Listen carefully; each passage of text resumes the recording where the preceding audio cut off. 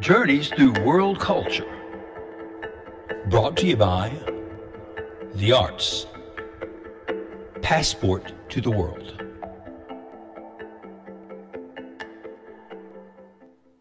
の特集は日本の国土4.4倍人口約8400万人の国イランよりペルシャ文化を紹介するアナビアン親子さんにお越しいただきましたこんにちは。ようこそお越しくださいました。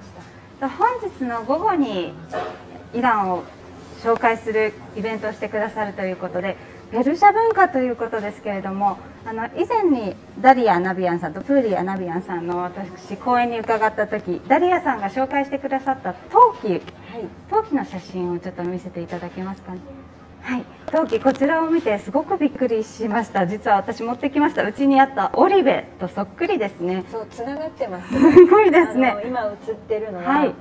えーと、ペルシャの酸化コバルトでできた上薬。これがゆくゆく中国の染め付けになるんです、ね、なるほど。でその3歳は正倉院にもありますはい、中国とペルシャが1歳2歳3歳と技術上げていってなるほど。で15世紀に、えー、トルコ商人がペルシャのこの、えー、酸化コバルトグリーンになったのを、はい、ベトナムなるほど。でベトナムでホイアンっていう日本人町があってそこから日本、はいなるほど。シルクロードをこう来たわけですね。で日本が渋いですね。渋いですね。ちょっと変化を遂げているわけですね、はい、日本風に。であのすみません。国旗を今ちょっとちらっと見たんですけれども国旗、はい、こちら2つあるということで、あの今日の午後のイベントでお話になるので、はい、今日は2つある。なんでだろうというのをこの番組で紹介して、であの今からはですねシルクロードを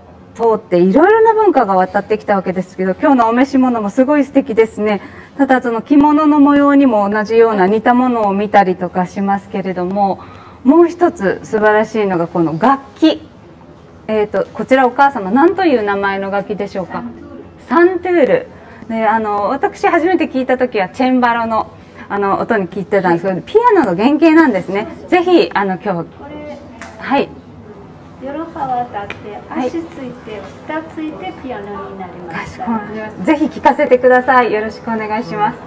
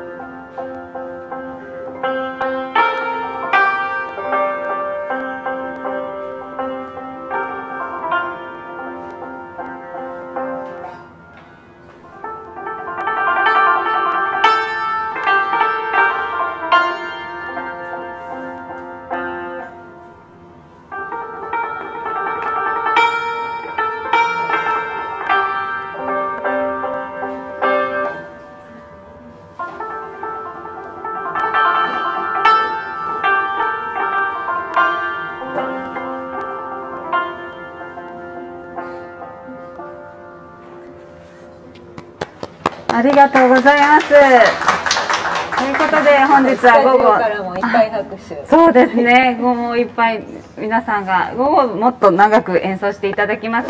では来月なんですけれどもちょっと早くもこのコーナー U ターンの時期を迎えまして えっ、ー、と特別にタイスという言葉皆さんお聞きになったことありますでしょうか？こちらも、まあ、日本ではタイス文化というふうに最近言われています。ちょっと皆さんに疑問を残したまま来月の放送をお楽しみください。今日はありがとうございました。ありがとうございました。